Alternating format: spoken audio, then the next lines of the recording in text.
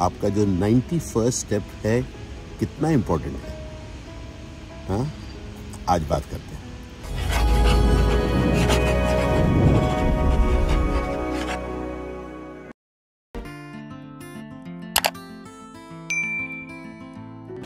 तो नमस्कार, स्वागत है आपका।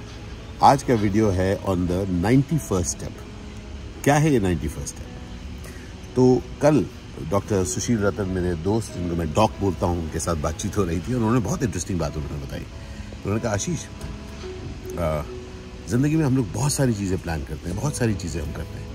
एक के बाद एक एक के बाद एक एक के बाद एक, उसका काफ़ी सारी चीज़ें करके हम कहीं पर पहुँचते हैं। और वो हो जाता है, हमने 90 स्टेप्स हमने करेक्ट किया है, कल 90 स्टेप्स कमाल किया है। एंड देन ही सेड याद रखना आशीष 100 स्टेप्स की जर्नी में 90 स्टेप्स बहुत अच्छे हुए हैं। Remember you cannot just think about the 90 steps जो अच्छे हुए हैं you have to now start thinking and looking at the 91st step दोस्त, आप अपनी ज़िंदगी देखिए। आप अपनी ज़िंदगी में देखिए वो सारी चीज़ें जो आपने प्लान करी हैं, आप जिसकी तरफ़ बढ़ रहे हैं और आपने काफ़ी अच्छा किया है। You made the right move आप करेक्ट डिसीज़न में चल रहे हैं। आपने करेक्ट कॉल्स लिए हैं। कुछ आपके स्लिप्स हुए हैं, फिर आप खड़े हुए हैं, फिर आप आगे बढ़े हैं, सब कुछ करेक्ट चल रहा है। लेकिन आप समझदारी से चल रहे हैं पर याद रखिए द नाइन्टी स्टेप तक आपने कमाल किया है मुबारक हो।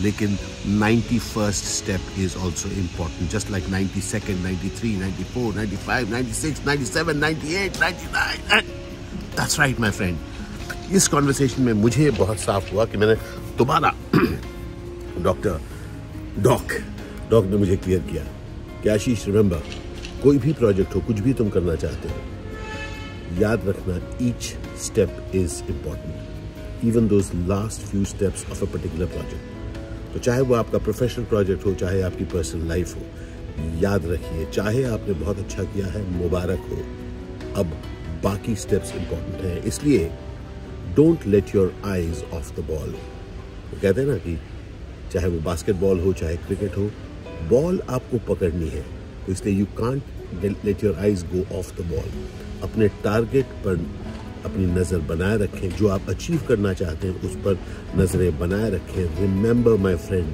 जितना आपने बढ़िया काम किया है, वो सब एक्चुअली कलमिनेट करेगा उन लास्ट स्टेप्स पर. इसलिए let the next step be the most important step of your life do let me know कि आपको इसको अपनी ज़िंदगी में अप्लाई करके क्या मिल रहा है. कमेंट्स में ज़रूर बताइएगा। अगर आपको ये वीडियो अच्छा लगे तो प्लीज़ इसे लाइक करिएगा, सब्सक्राइब करिएगा चैनल को और शेयर भी करिएगा। याद रखिए your next step is the most important step for you all बंधु, अल ज़िंदगी। मिलता रहूँगा आपको। Cheers and love I am looking to my next step Are you?